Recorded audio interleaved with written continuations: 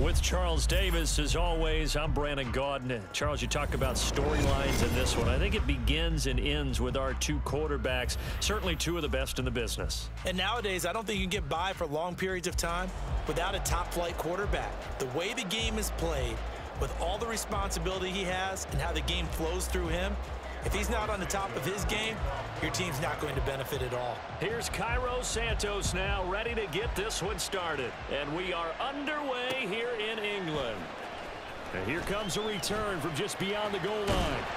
And they'll start this drive just across the 30. Pretty nice work on the return.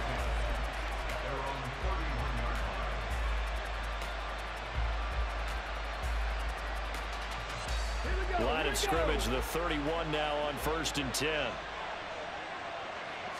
First play, first throw coming for Vick.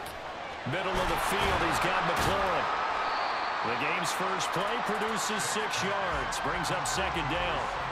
I think defensively you're okay with that. You're in the first quarter. He's going to get some catches, but they rallied to him quickly. And that's what you count on, and I like what you just said. First quarter, can you do it all game long? They catch it, you tackle them, they go down on the spot. Because when you're able to do that, you don't give up big chunks of yardage after the catch, now you put the offense in a position where every series they have to work hard to pick up first downs, and you tend to stall them out when you do that. So into Bear territory now. This is first and 10 at the 36. Here's Michael Vick.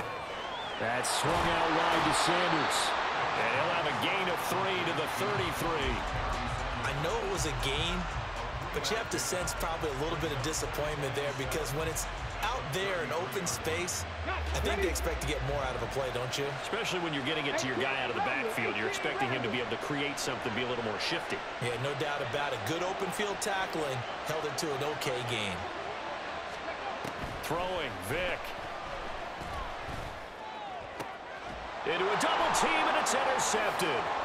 Picked up by Leonard Floyd. And the Bears are going to take over once again at their own 25-yard line. Fields and the Bears now with a first and 10 at their 25-yard line.